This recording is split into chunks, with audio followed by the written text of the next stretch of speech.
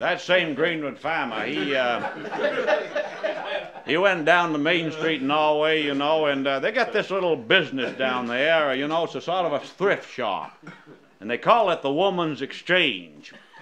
And this particular day, Fanny Freebie was in there, you know, uh, waiting on, and uh, that old farmer looked at that Woman's Exchange for a minute, and finally he went in the door. And he saw Fanny sitting there, and he says, uh, "This is a woman's exchange." And Fanny says, "Yes, it is. What can I do for you?"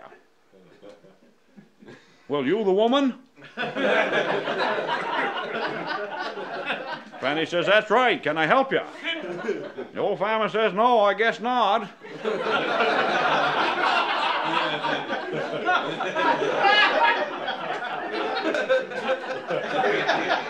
Says, I reckon I'll keep Sarah after all.